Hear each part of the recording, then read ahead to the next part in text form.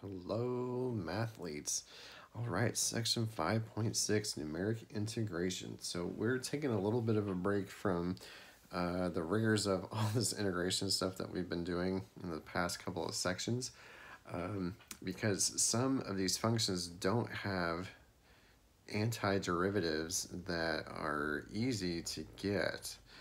Um, they would be pretty complicated. So like for example, there's no easy or elementary function that has any of these as its derivative. Um, or at least not something that would be really nice. So if you need to evaluate a definite integral with one of these things, then, and you can't actually integrate it, then you can't use that fundamental theorem of calculus and you have to approximate it instead. So earlier, like way back in 5.2, we use rectangles but they're not the only shape that you can use. So one alternative shape is a trapezoid. So just like rectangles, we can divide this region up into trapezoids uh, going from x equals a to x equals b. Uh, and just like with the rectangles, each one of them is going to be the same width or the same delta x. And then once we find the area of each of those trapezoids, you can sum them all together to get a pretty good uh, approximation of the area. So just as a review, what kind of a sum is this? Riemann. It's just a different type. Remember, there are a lot of different Riemann sums out there, and this is this is one of them. So right here, uh, this is the area formula for a trapezoid. Okay, so let's go from x equals a to x equals b.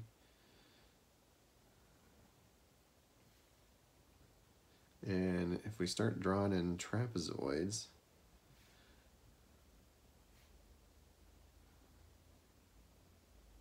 and they're equal widths, as long as I can draw it,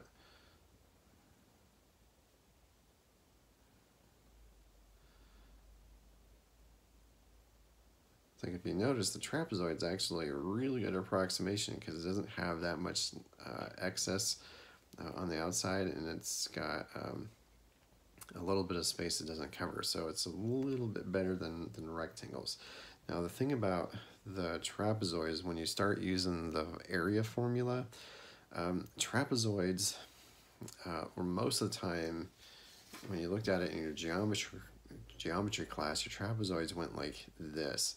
Uh, so you had one or two parallel sides, one side that was perpendicular, um, and then another one going that way. So we got to keep that in mind uh, because when you looked at it like this, the height was this the part that went up and down uh, that connected the two parallel sides. Well, now that it's rotated, your height is horizontal, which is weird because that's not how you normally see it. And your bases, or the two parallel sides, now the bases are going vertical. So just, just keep that in mind when you, we start using this. Okay, so the trapezoidal rule. Uh, so let f be continuous. Uh, the trapezoidal rule for approximating the definite integral from a to b f of x dx is given by, and remember this is approximating, so it's got the approximation symbol, not equals. So it's approximately equal to b minus a over 2n. And then inside of here is a big quantity. So we have f of a plus 2 times f of x sub 1 plus 2 times f of x sub 2 and then it keeps going and going and going. So and then finally plus 2 times f of x sub n minus 1 and then f of b. So moreover as the number of trapezoids or as n approaches infinity the right hand side approaches the integral a to b of f of x dx. So if you can smash an infinite number of trapezoids in there, you do get the actual area. All right, so some of you are going, well, what what's this x1, x2? What like where is that? That's just how you partitioned it. So just like the rectangles. So x1, x2, x3, x4, uh, and in this case, we'd go to x5. And then your last uh, um, x value is the b, and the first one's always the a. All right, so let's go ahead and use it. So use the rule to approximate the value of the definite integral with n is equal to 4. So you're going from 0 to 1, and you have to have 4 trapezoids. So each h, or height, because remember the height is horizontal,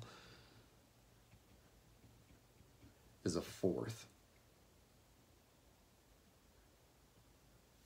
Okay, so this definite integral is going to be approximately equal to, and we're just going to follow this formula out. So b minus a, so 1 minus 0 over 2 times 4. so we're going to start with the first x, so f is 0, and then you plug it in. And then plus 2 f of, so each h is a fourth apart, so each spacing is a fourth. So just keep adding a fourth.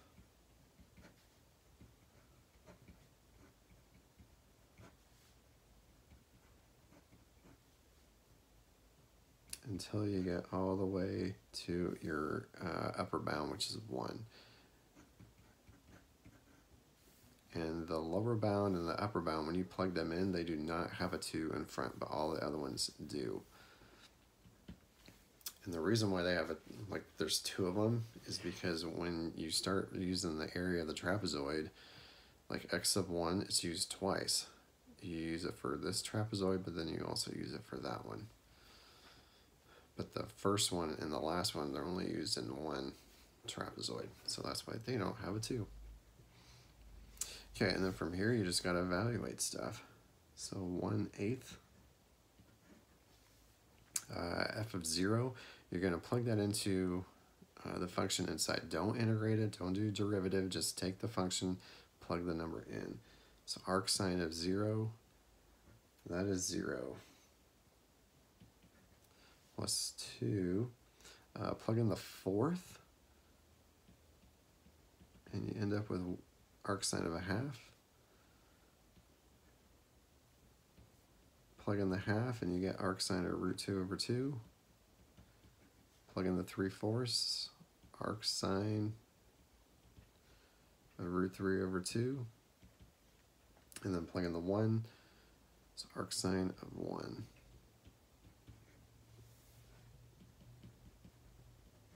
All right, arc sine of a half, that's pi over 6.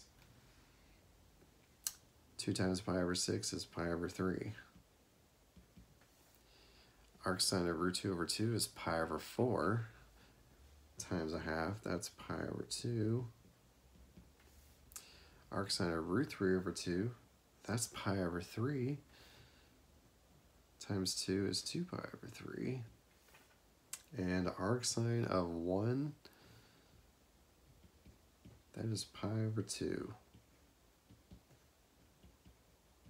So you have 1 eighth times 2 pi,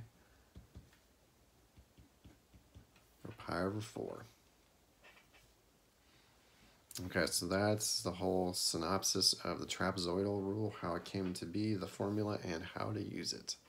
So in the next video, we'll look at a different rule.